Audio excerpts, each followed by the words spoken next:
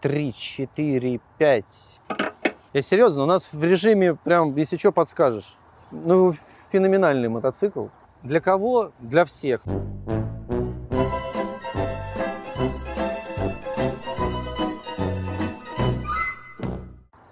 Я, я могу сказать честно, что я же человек про езду больше, а не про технические характеристики. Но первое, что меня очень сильно удивило, всем привет, меня зовут Антон, да?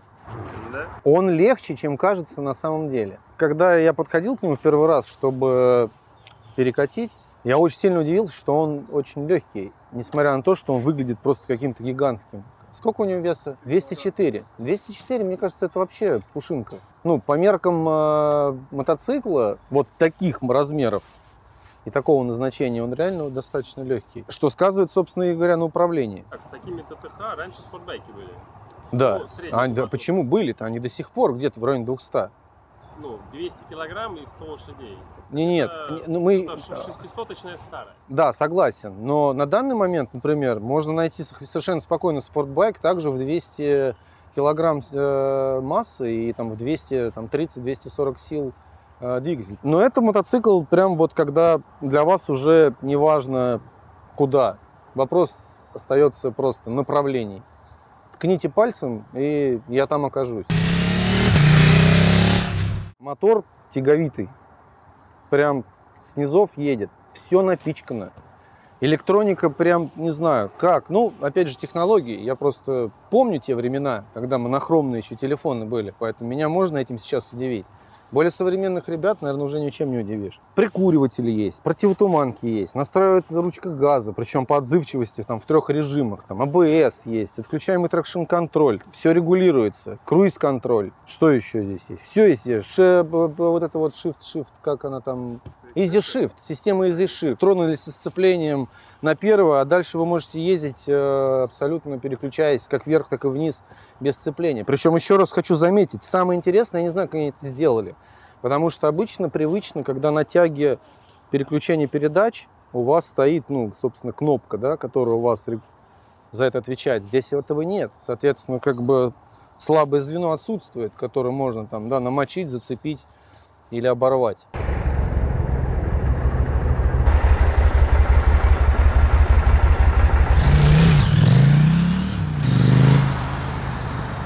Он очень легкий, очень прыгучий, очень классная, ну там как-то, да, я, конечно, аккуратничал, чуть-чуть там подскочил.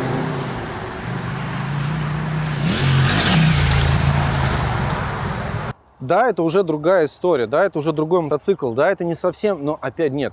Мы не знаем, что это такое. Если бы мы знали, что это такое, мы не знаем, что это такое. Опять же, какие задачи? Если вы живете в 20-30 километрах от города, и вам нужно преодолевать, ну, там, до 50 километров за МКАДом и врываться в город, да, согласен, это прекрасный мотоцикл.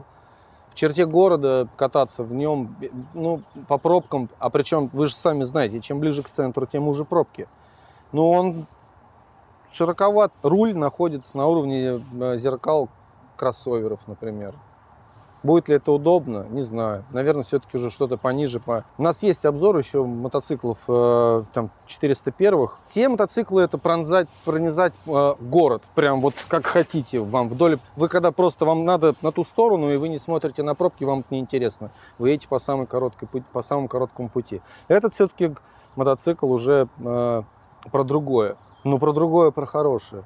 Это прям вот, ну, дальнобой. Круиз-контроль поставил, сюда навьючил, девчонку посадил и куда-нибудь на юга. Это да. И причем без разницы. Там, «О, смотри, озеро. Поехали на озеро. И мы уже на озере.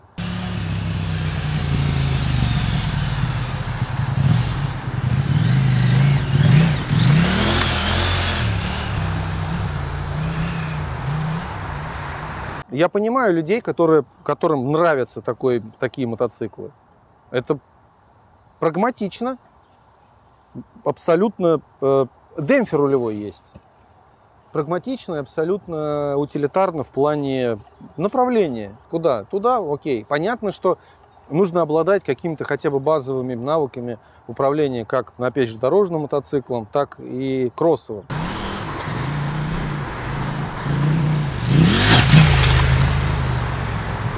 Причем никто не говорит про какие-то трамплины, мы говорим просто элементарно, там, посадка, оттяжка, подсадка, да, то есть как бы владение телом, потому что он мощный, он тяговитый, то есть чтобы получать удовольствие от любого мотоцикла, даже от, самого, да- даже от скутера, э, нужно, конечно же, обладать не только теоретическими знаниями. Маленький намек на то, чтобы, э, если вы уже увлечены мотоциклами, отдавать какое-то время на то, чтобы все-таки где-то набраться опыта.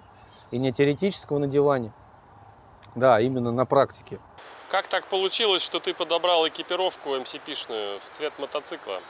МСПшная экипировка создана для этого мотоцикла. А ребята из Байкленда созданы для подбора экипировки к определенному мотоциклу. Я сам был приятно удивлен, потому что я не видел мотоцикл, но у меня уже была экипировка. А какой здесь объем бака, мне кажется? Там 19,1. Причем ты удивишься, где бак. Бак, наверное, внизу где-то, да? И все, опять же, вот, опя- а именно поэтому он кажется легким. Центр массы максимально низкий. Феноменальный мотик. Мне при моем росте 160 более чем удобно. Кстати, опять же, давайте уж не будем голословны. Причем я достаю носочками обеих ног. То есть, ну, 160.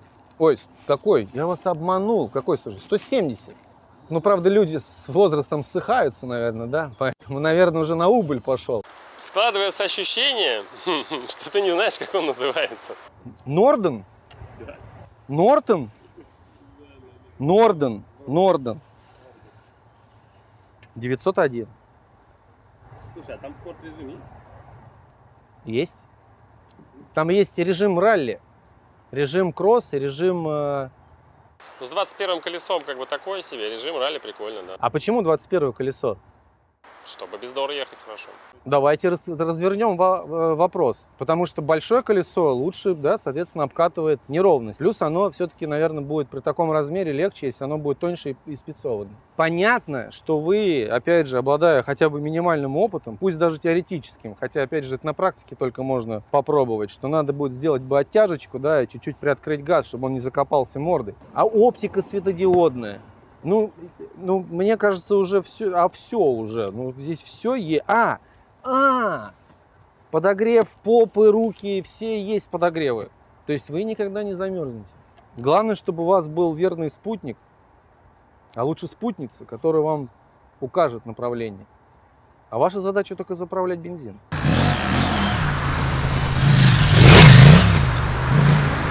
Я поехал, поеду дальше, наверное, покатаюсь.